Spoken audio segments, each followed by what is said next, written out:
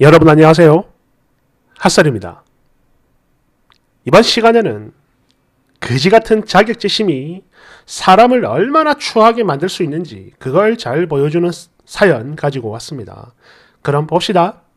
제목 내가 지 남친을 꼬셨다며 결혼식장에 오지 말라는 친구 하 진짜 별 그지 같은 그래 알았다 절대 안 간다 이 망할 두꺼비야 원제 친구 결혼식 초대에 취소당했어요. 저랑 되게 친한 친구가 2주 뒤에 결혼을 합니다. 평소 같이 어울리는 무리끼리 파티도 열어줬고요. 선물도 준비를 했고 진짜 할 수 있는 건 다 해줬거든요. 그렇기 때문에 이제 남은 건 딱 하나.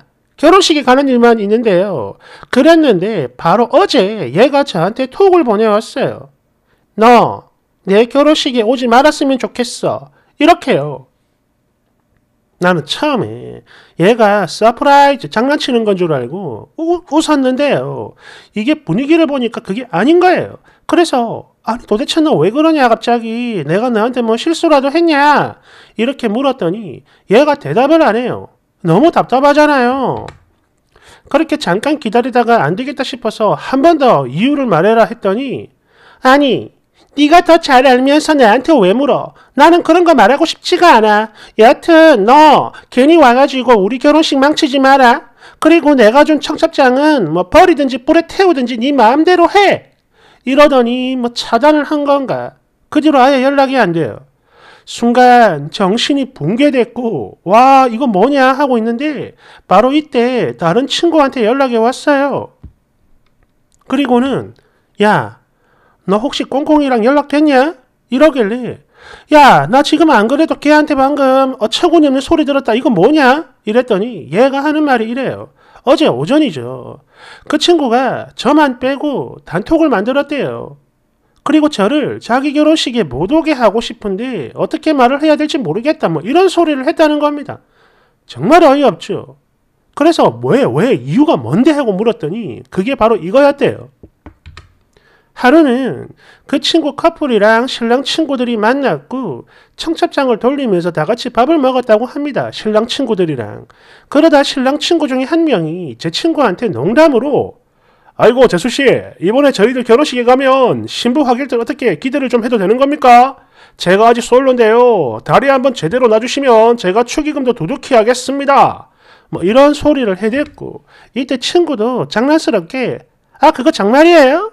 그럼 정말 좋은 친구로 선별해서 소개해드리고 나는 그걸로 신혼집 냉장고나 하나 장만해야겠다. 뭐 이렇게 같이 웃으며 맞장구를 쳤는데 이때 친구 예비신랑이 아 자기 친구들 중에 누가 제일 낫더라? 그래 꽁꽁씨 어때? 내가 보기에 자기 친구들 중에 그 사람이 제일 괜찮은 것 같던데 자기 생각은 어때? 뭐 이런 식으로 대답을 했다고 하는데 이것 때문에 오지게 큰 싸움이 났대요. 아니 왜 싸워? 이게 싸울 일이야? 참네. 여하튼 이 얘기를 들으니까 더 어이가 없고 소식을 알려준 친구한테 그래? 한번 나톡 보여줘봐 했더니 끝까지 안 보여줘요. 뭐 이 친구 눈치를 보니까 얘가 친구들한테 제 욕을 오지게 한 것 같은데 정말 기가 차서 말이 안 나오더라고요. 여하튼 그래요. 이 친구가 말하는 뉘앙스를 보니까 제가 뭐 은근슬쩍 지 예비신랑 앞에서 평소답지 않게 내숭 오지게 떨고 꼬신 거다 뭐 이런 소리를 한 것 같더라고요. 그래서 그 단톡에 있는 애들도 아니다 그건 억지다 그날 우리가 모였던 날 그 모임에 꽁꽁이 저죠 꽁꽁이 혼자 늦어가지고 별로 얼굴 보지도 못했는데 무슨 불륜의 취급을 하는 거냐 등등등 다들 이런 식으로 어이없다는 반응을 보였다고 하는데 그럼에도 얘는 분을 삭히지 못하고 소설을 쓰더랍니다. 참고로 제가 이 친구 예랑이를 본 건요 겨우 30분밖에 안 돼요. 친구들에게 처음으로 소개해주던 바로 그날 본 건데 처음이자 마지막이죠. 저만 스케줄이 안 맞아가지고 밥은 아예 먹지도 못하고 다 같이 디저트 먹겠다고 자리를 카페로 옮겼는데 그때 도착을 했거든요. 근데 그마저도 늦어가지고 저는 진짜 30분 본 게 전부예요. 게다가 저희들 뭐 특별한 이야기를 주고받은 것도 없고요.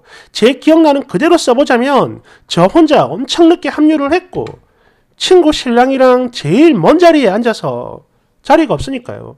그렇게 딱 인사만 주고받고 잠시 머무르다 헤어진 거 이게 전부거든요. 그런데 무슨 내숭을 떨고 꼬리를 쳤다는 거야. 이게 말이 돼요? 그래, 아, 솔직히 얘가 기분 나쁜 것까지는 저도 이해를 하겠습니다. 그런데 이거는 지 신랑 센스가 부족해서 일어난 일이지, 제가 뭔가 잘못해서 그런 건 아니잖아요. 왜 볼똥이 이쪽으로 튀는 건지, 이거 저만 이해가 안 됩니까? 그리고 또 하나, 진짜 유치한 이야기 좀 할게요. 막말로 제 얼굴이랑 몸매가 정말 연예인 뺨치게 이쁘다. 그러면 얘가 질투를 하는 거구나. 이런 이해라도 해보고 했어요. 근데 그런 거 아니거든요. 몸매도 얼굴도 평범하고 남자한테 인기도 없어요.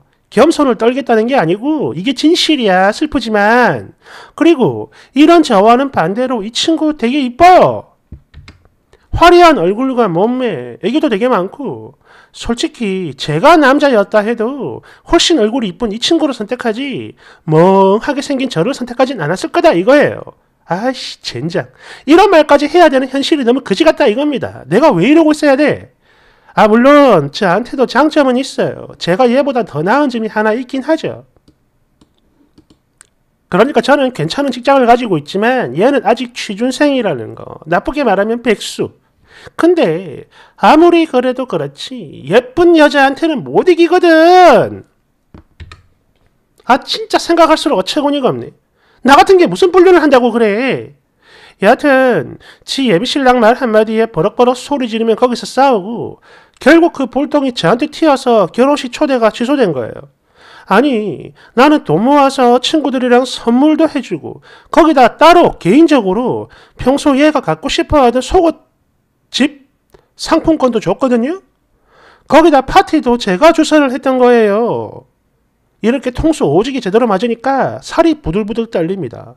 진정이 안 돼요. 나 미쳐버리겠다고. 이제 어쩌면 좋을까요? 그냥 이대로 연 끊어야 됩니까? 그래도 나름 10년 넘게 우정을 쌓아온 그런 친구인데 일이 이딴 식으로 되니까 너무 억울하고 기가 차고 미치겠어요. 기분 진짜 그지 같은데 뭐 좋은 수 없습니까? 복수든 뭐든 하고 싶어요. 아 참고로 저한테 이걸 알려준 친구 말에 의하면 다들 말도 안 되는 거라면 제 편을 들어줬더랍니다. 다만 더 큰 싸움이 될까 다들 이러지도 못하고 저러지도 못하고 있다가 이 친구가 대표로 살짝 저한테 알려주는 거라 하더라고요. 야 네가 말해줘 네가 말해줘 이런 식으로. 댓글 1번 얼굴이 이쁘면 뭐하나 마음이 썩은 두꺼비처럼 생겼는데 그 신랑 누군지 몰라도 진짜 불쌍하구만 깔깔깔깔 2번 야 얘기 다 들었다. 네가 나한테 그런 열등의식을 가지고 있는 줄은 정말 몰랐네. 그래. 네가 그렇게까지 나를 두려워하니까 네 결혼식에 가진 않을게. 근데 내가 너한테 준 것들은 다시 내놔라. 나 받아야겠다. 축하도 하기 싫은 네 결혼에 쓴 비용들 내가 다 도로 받아야겠어. 이렇게 말을 하세요. 대댓글. 보니까 쓰니만 친한 친구라 생각했던 거고 상대는 쓰니를 그렇게 생각하지 않았던 것 같아요. 남자 입방 정도 문제겠지만 고작 그런 거 하나 때문에 저렇게까지 나온다고? 평소 쓰니한테 열등감이 오지게 심했던 거야. 티가 나네요. 2번 네가 나를 두려워하니 이게 핵심이구만. 아주 좋아. 3번 그 지랄을 할 거면 일단 준거부터 뱉어내고 하라고 하세요. 만약 그거 안 뱉는다. 그럼 흰 원피스 입고 쳐들어가요. 써니 혼자 가지 말고 뭐 남친이든 남사친이든 가족이든 아무나 데려가서 축의금도 내지 말고 족같이 살아라 이런 편지도 한 장 주고 밥도 먹고 사진도 찍고 다 하고 오라고 4번 만약 제가 쓴이라면 돈도 돌려받을 거고 결혼식도 갈 거예요. 그리고 식이 진행되는 동안 밥 맛있게 먹고 바로 신부 옆에 딱 붙어가지고 사진도 많이 찍을 겁니다. 사진 볼 때마다 열받아 뒤져버리라고. 깔깔깔깔. 5번. 그 친구 얼굴 많이 이쁘고 애교도 많다고 했죠. 여기서 뭔가 느낌이 딱 오는 게 그 친구는 그러니까 평소에 여러 사람들 어딜 가든 많은 주목을 받고 살았을 겁니다. 또 반드시 그래야만 하는 성격이고 말이죠. 그래서 쓴이를 포함해 모든 친구들 중에 본인이 제일 낫다 여기며 살아왔는데 얘랑이 입에서 다른 사람이 나오니까 폭발한 거죠. 예를 들어 물론 우리 꽁꽁이 내 신부가 제일 이쁘고 낫지. 근데 이 사람은 이제 품절려니까 얘 빼고 이렇게 말을 시작했으면 아무 문제가 없었을 테지만 그냥 바로 다이렉트로 확 꽂아버리니까 질투가 폭발한 겁니다. 폭발. 님을 지목한 이유. 그 친구는 도저히 납득이 안 되는 거예요. 아니, 얼굴도 내가 더 예쁘고, 몸매도 내가 더 예쁘고, 모든 면에서 나보다 현저히 떨어지는데, 왜 걔를 지목한 거야? 이렇게 열받아 하다가 결국에 님이 꼬리를 쳤다라는 결론을 낸 거예요. 그냥 한마디로 피해 망상증 환자입니다. 가까이 하지 마세요. 내 댓글. 그래, 바로 이거지. 야, 씨, 소름 돋는다. 깔깔깔깔. 6번. 그 친구가 카톡 안 보여준 거 너무 믿지 마세요. 이거는 쓴이를 배려해서 그런 게 아니고 본인들도 일이 이 정도로 큰 줄은 모르고 그냥 신부 기본 풀어준다고 초반에는 약간 동조를 했을 거야. 그런데 점점 이건 아니다 싶고 선을 넘으니까 만류를 하긴 했지만 그 전에 지들이 한 게 있으니까 쓴이한테 보여줄 수는 없는 거죠. 왜? 찔리거든. 그래, 꽁꽁이가 그런 게 좀 있더라. 이런 식으로. 그러니 그 친구한테 말해요. 야, 알았으니까 네가 보여주고 싶은 부분만 보여줘. 걔한테 티 안 낼게. 약속한다. 이렇게 해서 보든가 아니면 아예 그냥 안 보는 게 마음 편해요. 7번. 진짜 별난 것도 다 있네요. 사실 그래요. 저도 옛날에 친구 결혼식에서 단체 사진 찍을 때 신부인 친구가 저한테 야, 너 내 옆에 서지 말고 저쪽으로 가. 이런 소리 들은 적이 있어요. 물론 장난스럽게 애교 있는 것처럼 말을 해서 기분 나쁜 티를 내진 않았는데 기분 그지 같았죠. 그리고 결혼하고 나니까 제가 결혼 안 하는 걸 가지고 계속 까고 그리고 아직 20대인 저한테 돌싱 30대 후반 자기 아주머니를 소개해준다는 등 헛소리 계속하고 거기다 힘들게 직장 다니는 저한테 야 그까지 푼돈 벌 바엔 그냥 때려치우겠다. 내 연봉도 모르면서 이렇게 입을 함부로 놀리는 일이 늘어나더라고요. 또 다른 친구한테는 나도 입이 툭 튀어나와서 우리 시어머니한테 소리 많이 듣는데 너도 그런 소리 장난 아니게 듣겠다 얘 등등등 외모로 사람 놀리고 여하튼 이런 거 말고도 개싸가지 같은 은행을 되게 많이 했더라고 참고로 이 소리 들은 친구 정말 예쁜데 말이죠 미친 거 아니야? 여하튼 그래요 질투심 많고 감정 관리 못하는 것들은 결혼해도 똑같아요 사람 절대 안 변합니다 그러니까 이번 일로 끝나지는 않을 거라는 거죠 썼던 돈 다 계산해서 받고 연도 끊으세요. 야 고작 30분 본 게 10년 우정을 아득게 뛰어넘어 버리네. 진짜 사람도 아니구만. 깔깔깔깔.